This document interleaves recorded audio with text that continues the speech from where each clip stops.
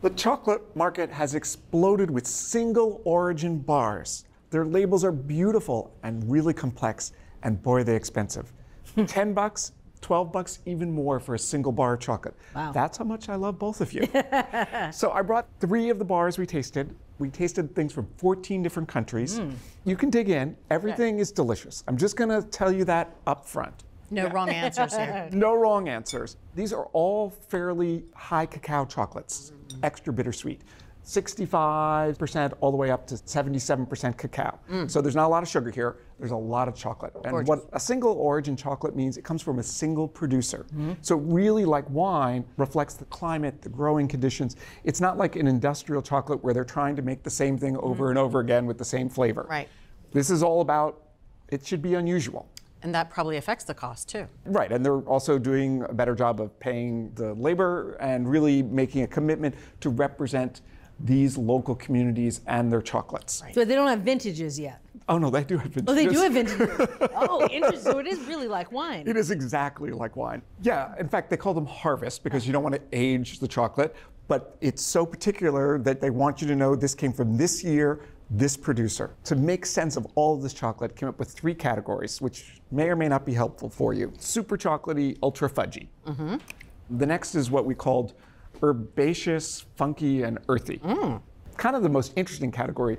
There were some, honestly, one that tasted like shiitake mushrooms. Yeah, it, So it was earthy. the, it was earthy in the best possible way. And then the third category was what we called fruity and acidic. You're like, okay, why did you bring warm water? So that's why we're in mugs. So we found that the warm water really just helps open up your taste buds so you can really appreciate the nuances, and they're really quite different from each other.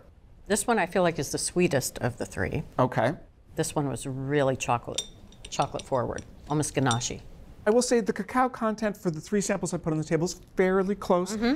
And some manufacturers, they're adding extra cocoa butter so that you get more creaminess. Mm. In fact, two of the samples that you're tasting have extra cocoa butter for extra richness. Mm. Because one of the things, as you guys know, when you make a low sugar chocolate, you can lose some of that creaminess, right? Mm, because Yeah. there's so much chocolate right. in there. This one has a red currant thing going on. I actually really like because it's unexpected. But I love all of these. Every time Bridget says a flavor, I'm like, yeah, I taste that in all of them. Hazelnut. Yeah. Yeah, B. hazelnut. Mm-hmm. B. So if I asked you to pick a favorite, or do you feel like that's just so hard here? It's not hard. I like B. Okay. I like B. There's something too fruity about C for me. I don't love citrusy. It's not my thing. It's oh. delicious, but it's not for me. B is my thing. It's chocolate, a little nutty. A is delicious too. Yeah, I'm going to go between B and A. I think if I had to choose one, I think I like A a little bit more because just some of the undertones it seems a little bit brighter. All right, well, why don't I tell you what you just tasted? Sample A from a French chocolatier, Francois Pralus. Absolutely delicious chocolate. Definitely. This chocolate's actually coming from Ghana. We thought this was in the ultra fudgy chocolatey category. Ganache. You said ganache, yes. Bing, bing, bing, bing. One for Bridget. There we go. the middle chocolate B, this is from a San Francisco company, Ninth and Larkin. Mm. And this is a 74% cacao chocolate from Fiji. And this was, remember, the kind of herbaceous, funky, nutty, earthy, Mm. Grassy. you know, grassy. C was in the fruity acidic category. And this is from another San Francisco chocolatier called Dandelion. This is a 70% cacao chocolate from India, and it. You said red currants, and I think you you know you said fruity, um, and that's really the notes that you get from it, and it's so different from B and from A. I actually really enjoyed it too. So there you have it, single origin chocolates. They're super exciting. They're interesting. Try some at your next party.